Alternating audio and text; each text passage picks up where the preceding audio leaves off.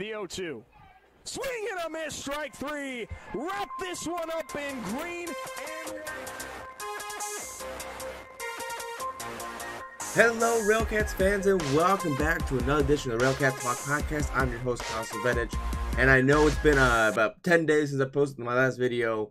Um, that's just because the playoff race getting so hot, um, you know, I was trying to focus on that and a new job. Um, working a lot more mornings and not a lot of nights, overnight, stuff like that. So I wasn't able to get around to really recording anything. Um, and the days that I was able to, I was really tired, so I, I, I didn't want to put out a, a podcast of me just like falling asleep. Um, but you know, I had a. I know there's still two games left, and the Railcats did win last night, and I was at that game, and then I was at the the game the night before where they uh, ended up losing six to nine. Um, the offense kind of rallied a little bit there late, but just couldn't do anything against Milwaukee. Um, they just got such a big lead at the beginning. Um, it was interesting to see, you know, Jesus Mariaga hit an inside the park home run. Um, don't get to see a lot of those, and we I got to see one of those, you know, sitting right there where I've normally been sitting. Um, it, it was an awesome experience just to see that because you know I think the the steel yard is probably one of the only ones. If the I mean, yes, the ball bounced right, but with it being 400 feet um, to center field at Mariaga's speed, I mean, by the time the ball hit the um, center field wall, he was already basically to second. So there was no reason for Guy Syndrome not to send him because that's what you know we wanted to see, and that's what we got um, on that aspect of it. But I mean, with the Railcats not making the playoffs, they, they still can play spoilers with Milwaukee. I think Milwaukee um, is um, yeah, they're a game back from uh, from the Dogs and Kane County. That's another series to really watch for is the Kane County and Chicago Dog series, just because they're both right now tied for first in the East. So I don't know really what Milwaukee needs to do. They probably need they, they they'll, they'll need to win both games coming down the stretch here against the Railcats, but I don't really think I think they're going to solidify the third spot. I don't think they're going to move up or down. Um, so that'll be an interesting one because there, it's no really game. There's no really games to gain ground in that aspect of it, unless they he, unless Milwaukee has any tiebreakers with either one of those teams, and that would be the only time that they would jump over them. Um, also, Fargo Moorhead and Kansas City uh, Fargo Moorhead's up by a game, but they're both playing each other. So you know, if you're bored, want something to watch on American Association TV, just make sure to uh, to watch those games because I'll be keeping close eye on those ones. Um, but let's get a little bit back to the Railcats. They did win yesterday. Um, here three to two, which was kind of a rocky. I mean, I think Harrison Francis had one of his better nights. Um, he was solid. Um, then they brought in Julio Vivas, and I, you know, he's done really good throughout the year, um, but he kind of shook there a little bit. They gave him the two runs, and Jack Eisenbarger came in and shut down the door.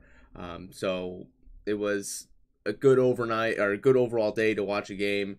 I was excited to go to both games. Um, we're actually talking about doing the family season passes next year, not season tickets, just because with you know other things along the lines of that. I, but the family season tickets are would be a good good one for us to use, um, just because of if another family wants to go, and I don't really care where I sit. I don't really think there's a bad seat in the steel yard, and probably next year I'll probably spend a lot more time in the outfield just because I. I like watching baseball from the outfield. I know it may seem a little weird, um, but I just think you see the game sometimes just a tad bit better better from the outfield than besides sitting behind a fence. Um, but yeah, definitely enjoyed this year. Um, I actually got to speak with Tony Pasquesi and um, Tom Walraven um, after the game, and big thank you to Paulie um, for letting me claim his jersey so I could get out on the field. Um, it kind of broke the ice a little bit of me kind of getting on the field. I'm a very shy person. At, weird to say. Um, I'm a very shy person when it comes to that kind of stuff, and I know I'm doing stuff like this. You know, sometimes it takes a lot to get behind a camera, and you know, I, I just I don't have that personality of going out and seeking people. So that's just something I have to work on for next year, especially um, if I want to get better coverage of the Railcats. And I, I know that's something that I need to do, but I just it was a feeling out process this year how it was going to go, and I've really enjoyed every second that I've done it. Um, yes, it's not the Cubs, it's not the White Sox, but it's still very good baseball to go and watch and enjoy uh, family time, uh, to watch kids run around, have a good time, to watch other people have a good time. It, you know, it, it's always just a fun experience going to the Railcats game, and you know that's something interesting as well that Tom Walraven said um, about the facility. But I'll get a little bit in that one uh, and both of their futures, uh, Tony and Tom's future with the Railcats if they're coming back. If not, um, they did tell me a little bit of what's going on in in, in the future on that aspect of it. Um, but you know, the whole just getting on the field experience was cool. Um, the games this year have been fun. Every game, I, I it kind of was kind of weird at the beginning of the year. Every game we've gone to up to I think the Dogs game. I think it may, rained a little bit there. I think the first Milwaukee game that we went to, um, which was a couple weeks ago, was the only game that we went to that didn't rain. The home opener went to home opener, it rained there.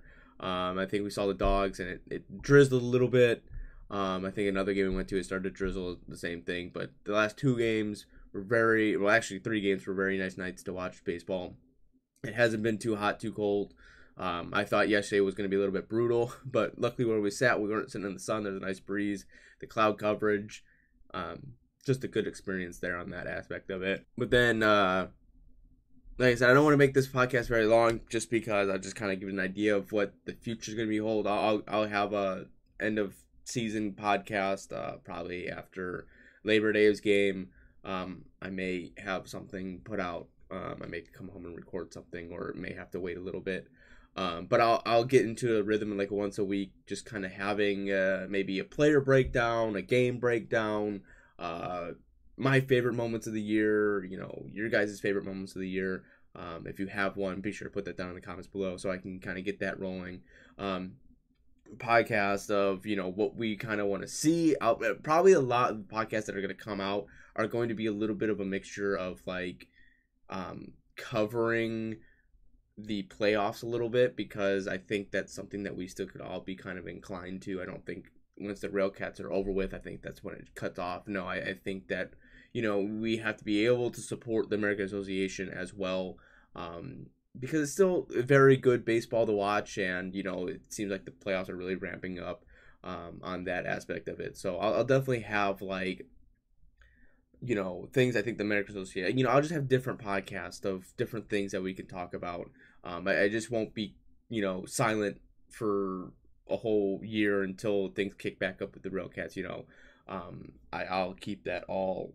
It'll all be, you know, relevant. I'll still be relevant. Um, if you really enjoy the pod, don't worry, I'll still be relevant. Um, I just know at the end of the month here, um, especially from the 22nd to October, October 2nd, um, I will be having my wedding, uh, honeymoon that kind of stuff. So I will be not around for probably about two, three weeks just because of that purpose. Getting back in the work crew, getting back from vacation, honeymoon, that kind of stuff.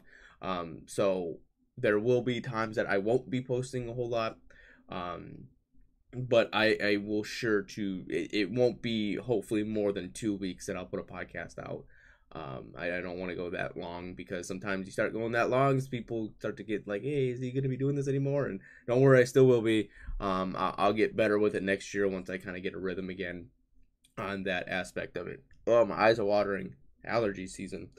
Um, but getting onto the field, um, talking to Tony Pasquesi, and the funny thing about talking with Tony was that with him being the public address announcer, and I know at the beginning of the year he was up in the booth with Ryan Zimmerman at some of the games he could go to. Um, and then the old PA announcer, I think he had a stroke or a heart attack and couldn't do it anymore. Um, so Tony took has taken over, and I thought Tony has done a very good job at the PA announcing. Um, he just it just seems like a natural at it. Um, he has that goofy, funny kind of personality that um, you kind of enjoy. Um, you, you know, you can't always be serious all the time doing some stuff. So he kind of has that little bit of quirkiness to him. And I, I guess I'm a more I like quirkiness because I can be quirky sometimes. Um, so I enjoy the people that are quirky, not so much just like this is how it has to be said, you know. But getting back into Friday's game was the uh, like haunted night, um, sponsored by Haunted Hospital Um, that's one place you'll never catch me at is a haunted house. I just hate haunted houses. It just, I just don't. I don't know. It's just something about haunted houses I just don't like. But anyways, we were walking to our seats, and there was a guy dressed up, and he like walked in front of me, and he said something to my fiance like she's mine or something, just being that you know creepy kind of that what he's being paid to do. And I think a lot of them were probably haunted hospital employees. I think. Um, but anyways, there was a guy that came up with a Mike Mike Wazowski uh, costume on. He says, "I'm I'm actually more scary than that guy is," or what you know, however he said it. And he walked away. I'm like, yeah, okay, that's pretty funny. I didn't really put two and two together. And we're sitting down watching the game, and I see a guy with a microphone, and then the normal girl that does it, uh, the in between hitting stuff like that, and he has a binder, and I really didn't catch on to it, and then he turned around and he was speaking. I was hearing over the. I was like, "Oh my god, that's Tony Pasquesi." I feel like an idiot. Um, so it's odd to see the PA announcer on the field with the book. You know, I know that right now they they don't have a lot of their interns um, going back to school or doing whatever they're doing, so they don't have a lot of interns. So a lot of them have to do other things that they're not normally used to doing. But it was still cool to see him on the field talking over the microphone, you know, watching him go around the different parts of the ballpark with the binder, saying things, eh, you know, just to be able to to move around and, and know what you're doing and know the lineup as well. Because even yesterday, um, I saw him just. I don't know if he looked at the binder real quick and then was about, you know, said something, but he knew the milkman's next person up the bat and he had the binder closed. So just be able to memorize all of that and doing a job so well, you know, that's just the little things that maybe a lot of people don't notice, but I'm able to notice just because of being in the background um, of doing media stuff like that. I know it may not seem like that, but I've been behind the scenes of some stuff, not anything completely major. Um, but I, I have been around and I understand, you know, this little things that you get to see that most people don't may not understand or whatever the case may be. Or you know, it may just be super easy. It's just still interesting to me to watch someone walk around the ballpark and be interactive with people, but be able to, you know, read off of a binder and not make mistakes and be on the right page and so on and so forth. But anyways, talking to him, you know, I, I said I felt like an idiot because I didn't realize that was you. And uh, I said, you know, I gave him his compliments because I thought he has done a very good job PA, PA announcing. He's done a very good job when he was with Ryan in the booth. And, uh, you know, I kind of asked him, I said, so what's, you know, your future? You know, is this, uh, you know, you're going to be back next year or, you know, what's the, the scenario on that aspect of it? He goes, he does have a couple full time jobs lined up that he's interviewed for. And if he does get, um, obviously, he won't be with the Railcats next year. But if it doesn't work out, or the case may be, he said that um, he would definitely be back. Um, I think he said he's going to take a job with um, a community college in St. Paul, I believe. Um, so it, it's, it's awesome to see him on that aspect of it. Um, you know, get to see people move on, uh, go to bigger, better things sometimes, but just be able to know that if this person does make it bigger than um, you know, a couple community colleges if they do make it higher in whatever sport they do soccer uh, baseball football hockey whatever it is just to know that you you knew them at the starting point and see them grow. And that i guess that's the interesting part especially in the media realm is that a lot of these places are a starting point and people are moving forward to see their growth on like the players. Sometimes they hit the AAA and then they kind of bring themselves back down and they try to work their way. I mean, no matter what, everyone's working to get to another spot than just being with Railcats. Completely understand that, and it's just fun to see that growth. And then getting to talk with Tom Walraven. Um, I know I someone has mentioned to me that you know this is probably his potential last year, a teaching degree, this kind of stuff. And so I kind of asked him. I said, you know, I know you've been with the Railcats a little bit longer hitting a home run. You know, you seem like that's kind of you're becoming a streaky player. Just kind of talking about that stuff, but I just really wanted to know what he was, uh, what his plans were. He said that um, next year he's, uh, well, probably this year he he's going back home, uh, hometown to Connecticut, and uh, getting a teaching degree there. There's a lot of spots open there, so um, he's like, yeah, you know, just that's, that's time to move on. And then he goes, and that's the other thing is um, that a lot of people don't maybe know, but a lot of the American players have backup plans. They they all are, you know, they know that it may be the end of the road. It may just be, you know, a roadblock, but they understand that they have to have a backup plan. They, just can't go out there and play baseball and it be it. Like, but then he said a lot of the Dominican Republic, uh, Puerto Rico, uh, Cuban, Venezuela players, all of them, they have like that. This is all they have, right? This is what they strive. This is what they want to play for. They got nothing else. This is all they have.